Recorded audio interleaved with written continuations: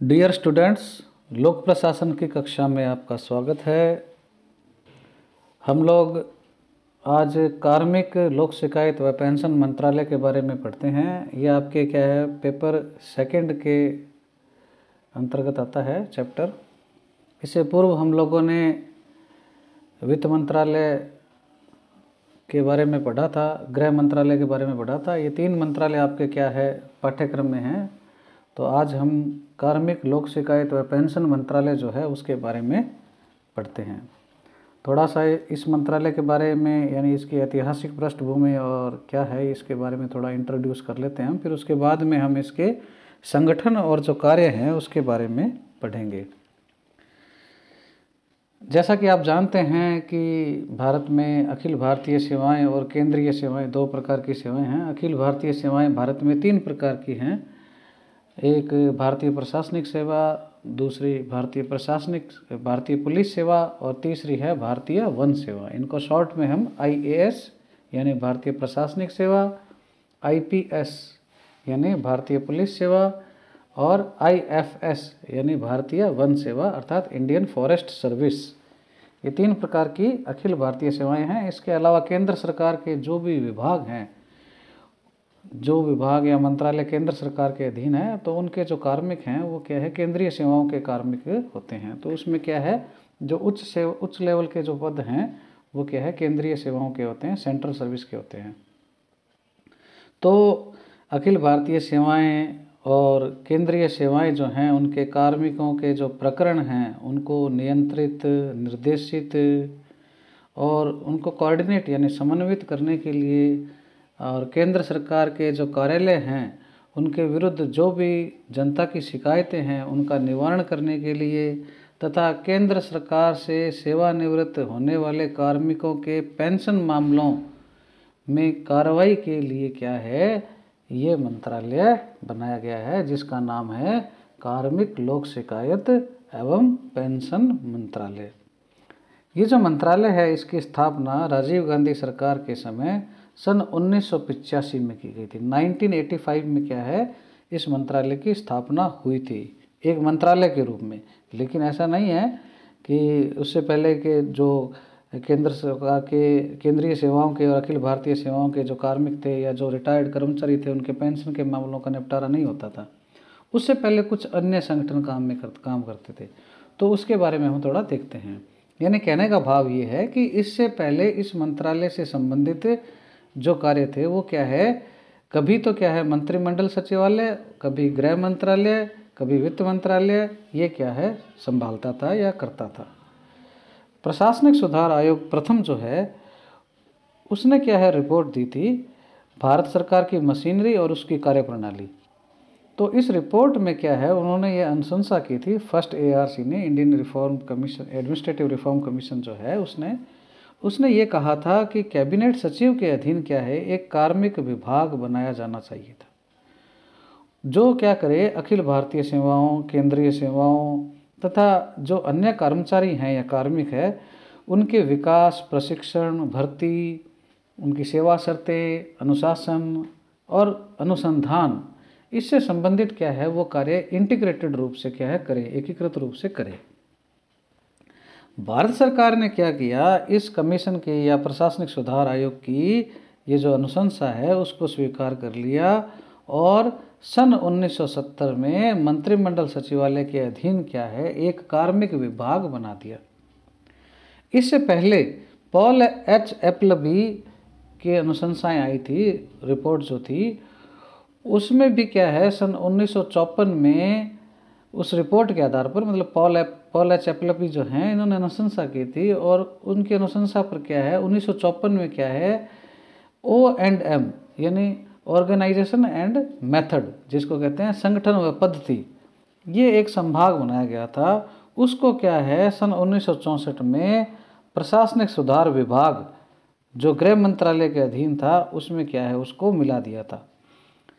तो फिर उसके बाद में क्या हुआ 1973 में मंत्रिमंडल सचिवालय में कार्मिक तथा प्रशासनिक विभाग नामक जो एक रचना है, उसका क्या गठन हुआ? यानी 1970 में तो बना कार्मिक विभाग और 1973 में क्या हो गया? प्रशासनिक विभाग। ये प्रशासनिक विभाग जो, सुधार विभाग जो था, वो पहले कहाँ था? गृह मंत्रालय के अधीन था। तो गृह मंत्रालय वाला जिसमें ओ एंड एम काम करता था, प्रशासनिक सुधार विभाग और ए, क्या कहते हैं कार्मिक विभाग इन दोनों को मिलाकर क्या है उन्नीस सौ तिहत्तर में मंत्रिमंडल सचिवालय में कार्मिक व प्रशासनिक सुधार विभाग बना दिया। 77 में उन्नीस सौ सतहत्तर में कार्मिक तथा प्रशासनिक सुधार विभाग दोनों को कैबिनेट सचिवालय से हटा दिया और उसको फिर क्या कर दिया गृह मंत्रालय के अधीन कर दिया। उसके बाद में सन उन्नीस सौ पचासी में केंद्रीय सचिवालय के मंत्रालयों में पुनर्गठन करते हुए कार्मिक लोक शिकायत एवं पेंशन नामक एक स्वतंत्र मंत्रालय की स्थापना कर दी गई। तो इस प्रकार से क्या है? ये कार्मिक लोक शिकायत एवं पेंशन मंत्रालय है, अस्तित्व में आया। अब इसके बाद हम क्या है? इसके संगठन के बारे में देखते हैं। तो आपके लिए यहाँ एक फ्लो चार्ट है ये। इसमें क्या है? हम थोड़ा संगठन के बारे में देखते हैं। कार्मिक लोक शिकायत तथा पेंशन मंत्रालय का अलग से कोई कैबिनेट मंत्री नहीं होता। ये क्या है? प्रधानमंत्री के प्रत्यक्ष नियंत्रण में कार्य करता है, जिसकी सहायता के लिए, यानी प्रधानमंत्री की सहायता के लिए एक या दो राज्य मंत्री क्या है, नियुक्त कर दिए जाते हैं। यानी ये राज्य मंत्री के अंडर में काम करता है। प्रशासनिक स्तर पर इस मंत्रालय का शीर्ष अधिकारी जो है, वो सचिव कार्मिक कहलाता है। ये लिखा हुआ यहाँ पे देखो, सचिव कार्मिक। ये क्या है इसका?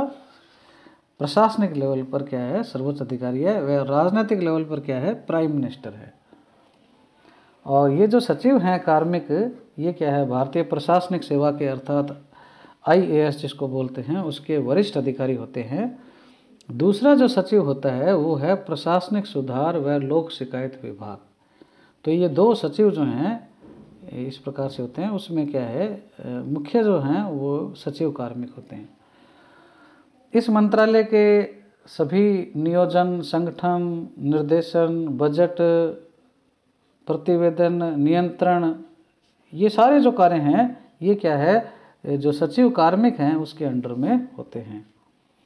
सचिव कार्मिक के अधीन दो अतिरिक्त सचिव भी होते हैं। ये भी आईएएस अधिकारी होते हैं। एक तो होता है अतिरिक्त सचिव, कार्मिक एवं प्रशिक्षण विभाग और एक अतिरिक्त सचिव होता है संस्थापन अर्थात एस्टेब्लिशमेंट। और ये जो अतिरिक्त सचिव हैं, इनके अधीन भी क्या है? संयुक्त सचिव होते हैं। और इसके अलावा एक जो ये सचिव प्रशासनिक सुधार है, उनके अधीन क्या है? एक अतिरिक्त सचिव प्रशासनिक सुधार व लोक शिकायत है, एक निदेशक होते हैं इनके पेंशन व कल्याण, और एक होते हैं पेंशन पॉलिसी। फिर इनके अधीन संयुक्त सचिव होते हैं और पेंशन प्रकरण की इकाइयाँ होती है। इसी प्रकार ये जो अतिरिक्त सचिव हैं, प्रशासनिक सुधार व लोक शिकायत, इनके अधीन जॉइंट सेक्रेटरी अर्थात संयुक्त सचिव व निदेशक होते हैं। इसके अलावा अब इसको मोटे तौर पर देखें तो जो ये मंत्रालय है, इसको क्या है, तीन भागों में बांटा गया है। एक तो है कार्मिक और प्रशिक्षण विभाग, यानी मंत कोई भी मंत्रालय होता है, उसके अधीन विभाग होते हैं। ये हम क्या केंद्रीय सचिवालय में पढ़ चुके थे। तीन विभाग है, एक तो कार्मिक व प्रशिक्षण विभाग, दूसरा है प्रशासनिक सुधार एवं लोक शिकायत विभाग, और तीसरा है पेंशन व पेंशन भोगी जो हैं, उनके कल्याण से संबंधित विभाग। तो ये तीन विभाग है, कार्मिक प्रशिक्षण विभाग प्रशासनिक सुधार व लोक शिकायत विभाग और एक है पेंशन व कल्याण का ये विभाग। अब मंत्रालय जो है, उसको आठ संभागों में भी बांटा गया है अलग अलग हैं, जैसे संस्थापन संभाग है, सेवाएँ व सतर्कता संभाग है, केंद्रीय सेवाएँ संभाग है, संस्थापना अधिकारी संभाग है, प्रशासनिक अधिकरण व प्रशासन संभाग है, प्रशिक्षण संभाग है, पेंशन व केंद्रीय सेवाएँ संभाग है, प्रशासनिक सुधार व लोक शिकायत संभाग है। इस प्रकार से क्या है, ये संभाग है।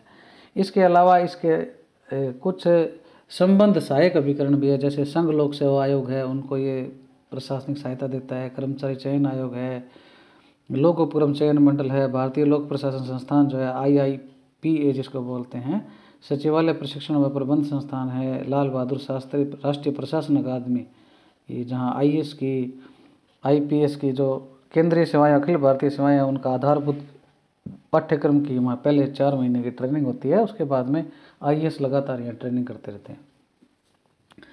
इसके अलावा इसके अंडर में क्या है प्रशासन सुधार व लोक शिकायत के अंडर में केंद्रीय सतर्कता आयोग, केंद्रीय सूचना आयोग, केंद्रीय सतर्कता आयोग, परामर्शदाता समिति, केंद्रीय प्रशासनिक अधिकरण व कार्यकुशलता इकाई, ये भी क्या है, इसके अंडर में है।